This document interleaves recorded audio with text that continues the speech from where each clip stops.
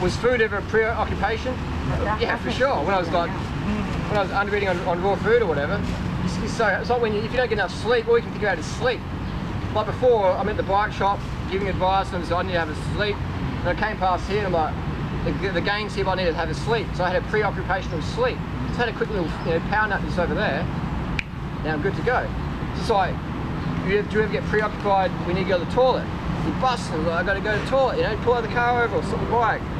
Because we need to go. A preoccupation of food means we need to eat more carbohydrate. With fruit, you have to be organised. With rice and stuff, like, you know, like to me, for me to go to Ming Quan vegan restaurant tonight, I don't have to be organised.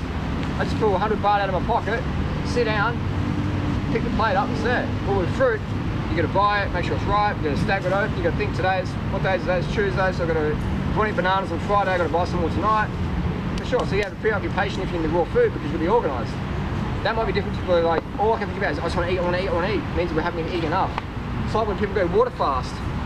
like, people are like talking about the recipes and they're like reading recipe books and I think if you're reading recipe books and watching MasterChef or whatever, then yeah, you, you're not getting enough food.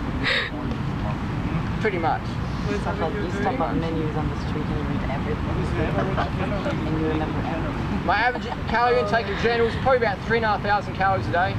That's what I need just to, just to function. And if I'm doing more sport, my appetite goes up. If I'm doing more work, my appetite goes up. For sure. Um, if I'm laying in, in bed or in the jungle all day, I don't have much appetite because I'm not doing anything, just relaxing. Um, but I'll, I'll still eat as much as I can fit in. But I find it becomes hard to eat if I'm not doing much. Because these natural foods just drop your appetite down.